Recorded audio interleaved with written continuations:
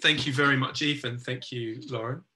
Um, so I'm going to uh, very briefly introduce a project that may make some sense alongside Lauren's presentation because some of the work that I was doing in this area um, also gave rise to the application that we made to, um, to the ESRC to fund Lauren's PhD with the Alzheimer's Society.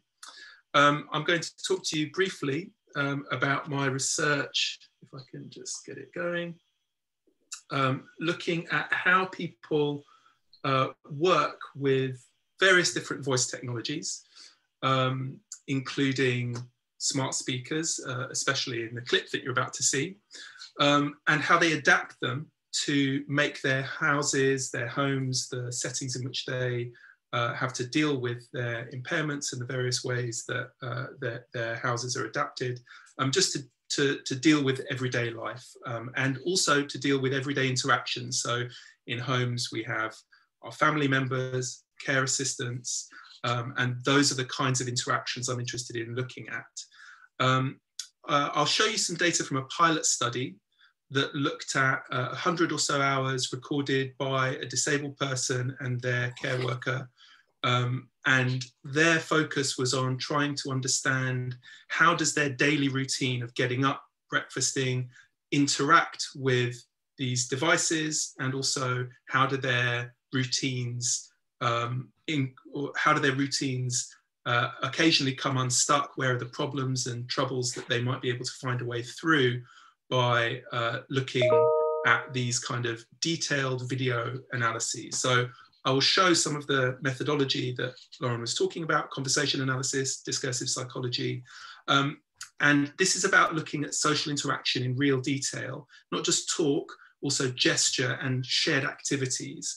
Um, and what you're going to see are uh, some transcripts, and I'll just give you a warning that the transcripts are a little technical. So they try and show you voice quality production and sometimes activity. So if we look at this introduction slide, uh, you'll see a little speech bubble with some uh, words in it, are wrong one. And uh, just to give you an example, the, the transcripts that you'll see in this presentation have this kind of annotation. So you'll see asterisks enclosing uh, or delimiting a turn or some talk or an utterance, and that's creaky voice. So that's when people speak with a very creaky voice. And the degree symbols mean very quiet.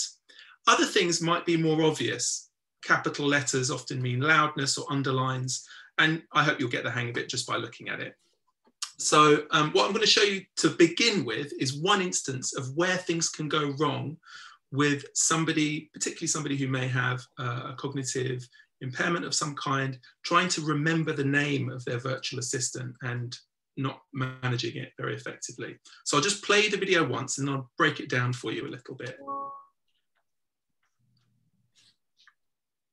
So here we go. Uh, the things that you'll need to know to uh, just to understand what you're seeing here is that you're going to see um, this uh, Ted here sitting with his uh, Amazon Echo device. You can see that um, at the front of the table, and um, also his phone, which is an Apple iPhone. It's actually hidden behind this, uh, this secondary smart speaker, um, but you'll be able to see him addressing both of these virtual assistants here.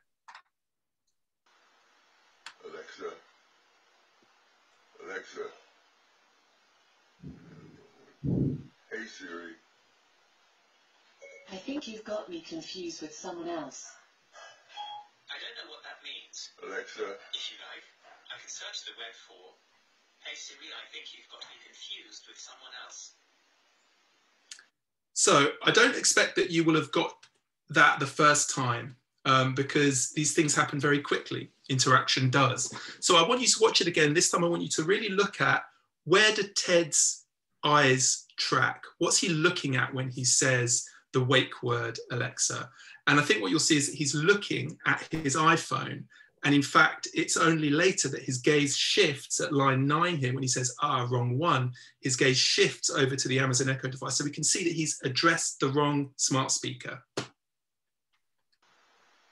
Alexa. Alexa. Here's the gaze shift. Hey Siri. I think you've got me confused with someone else. I don't know what that means. Alexa, If you like, I can search the web for, Hey Siri, I think you've got me confused with someone else. Now, what's going wrong here? As an interaction analyst, we're used to looking at quite organized sequences of talk. People, although we sometimes think of conversation as very disorganized, actually organize their talk into very coherent sequences. They become initiated and then they get responses. So if we think about the first sequence here,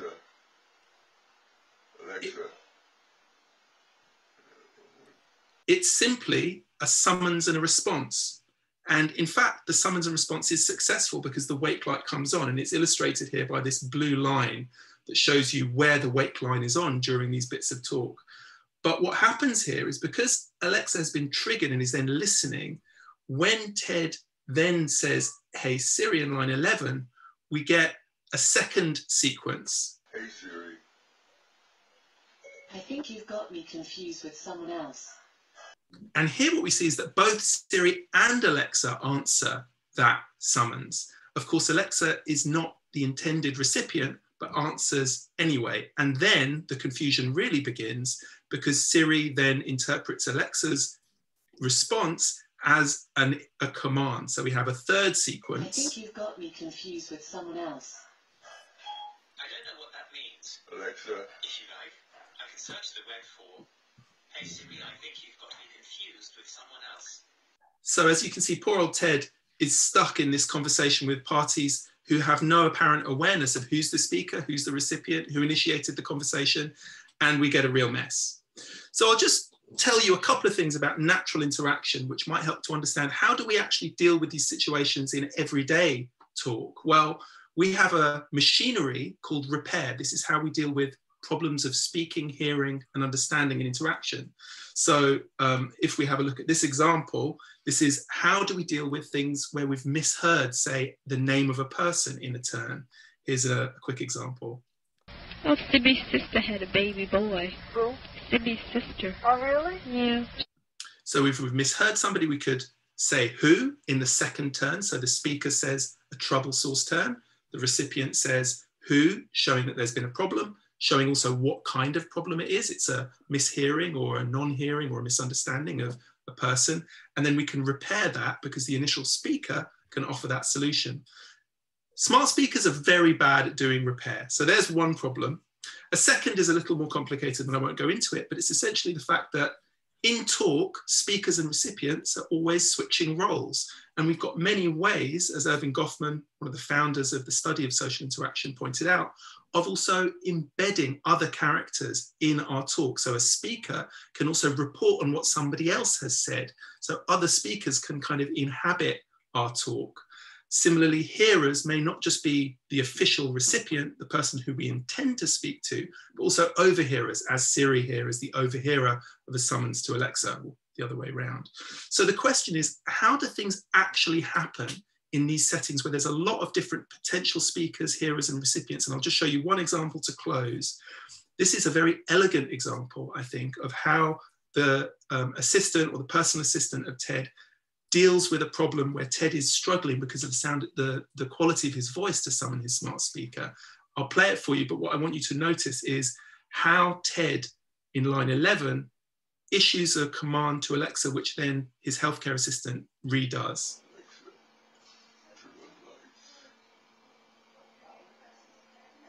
Alexa, turn on lights. So we have two unsuccessful summons, partially because there's a problem with Ted's voice. He can't take a drink and smooth his voice, so he gives up.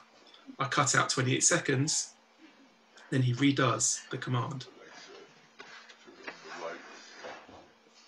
She glances at him, sees that he's given up,